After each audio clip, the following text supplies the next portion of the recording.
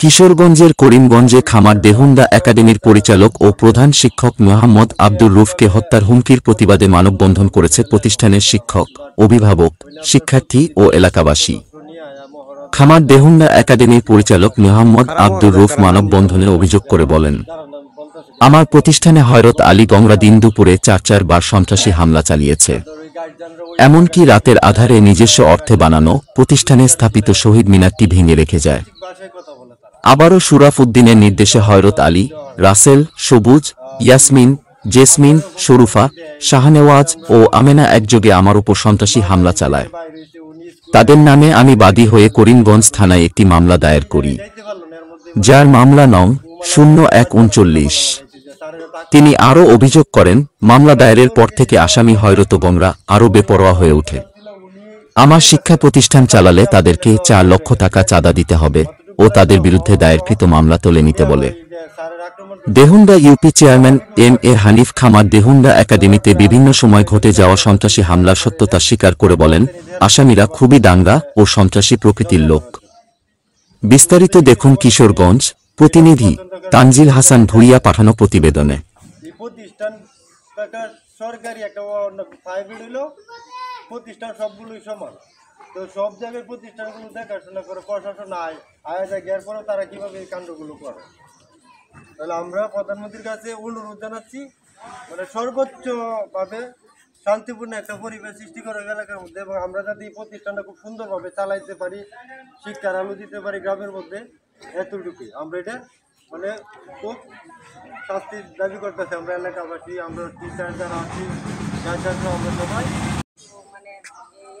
ঝগড়া লাগলেও ভয় পায় আর ফিনাল দাও এবং রড ওই নিয়ে যখন মানে আক্রমণ করে বাচ্চাদের উপর তখন আমাদের বাচ্চারা ভয়ে মানে কান্নে করে আমি স্কুলে যাব না আম্মু আর আমরা স্কুলে যাব না স্কুলে আমরা অনেক চুরি টুরি এগুলো আমরা জব করে নেই তখন আমরা নিয়ে আই নিয়ে যাওয়ার পথে ওরা আমরারও ভয় দেখায় স্কুলে বাচ্চা দিলে ওরা এরকম করব মানে আমাদের বাচ্চার নিরাপত্তা একমাত্র যদি আইনের ক্ষেত্রে যায় আইনের লোকে না করলে ওরা সবাই ভয় পায় গ্রামের মানুষ ভয় পায়, কিন্তু ওদের প্রতিবাদ করে না।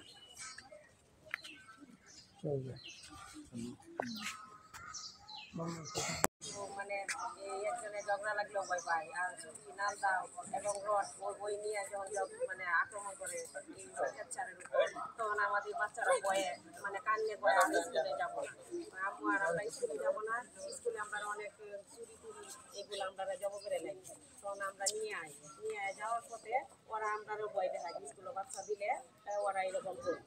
মানে আমাদের বাচ্চার নিরাপত্তা একমাত্র যদি আইনের ক্ষেত্রে যায়, আইনের লোকে না করলে ওরা সবাই ভয় পায়।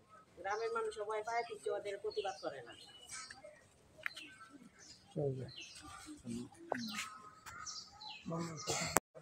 এইটি না দেওয়া পর্যন্ত স্কুল খুলতে পারব স্কুল বন্ধ রাখতে। এই রবিবারে আগে সরকারি বন্ধ ছিল, রবিবারে আমি প্রথম দিন স্কুল খুলছি। খুলি, খোলার পরে যখন আমি এসে রাস্তা দাঁড়াই দাঁড়ানোর সাথে সাথে অর্জন সোরাব রাসেল, এরা রাসেলের মা, বোন সহ আয়সা এই না আমারে যে তো বলছি, স্কুল বন্ধ রাখার জন্য।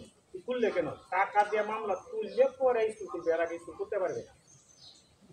এই বললে আমার উপরে আক্রমণ করলে অভিভাবক ছিল, আবু তাহের এবং আমার মাস্টার ছিল একজন আলমগীর, সে আমারে এই যখন আমার বাড়িতে এরা ফিরাইছে। ফিরানির পরে বাচ্চারা যখন চিৎকার, চেঁচামেচি করে দৌড়াদৌড়ি করতেছে, তখন অভিভাবকরা হয়েছে, আইসা আমার এইটাকে আর এইটাকে বাসায় এলাকা টানছে আনার পরে আমি ট্রিপল নাইনে কল দিছি। পরবর্তীতে পুলিশ আসছে মেম্বার আসছে এবং চেয়ারম্যান অফিসর অবগত করা হয়েছে। আমি তা না, এই ব্যাপারে বলছি যে আমার উপরে এই অক্রমণে কালকে রাত্রে বলে আসতে আমার মাস্টাররা যাওয়ার সময় কালকে বলছে যে তোরা বারবার বলতেছে স্কুল আসবে না। যদি আসুন তাহলে তোর খবর আছে। এই মাস্টাররাও উঠে দিতেছে গার্জিয়ানরাও বলে যে বাচ্চা যাতে স্কুলে না পাবে এই অত্যাচারগুলো করতেছে।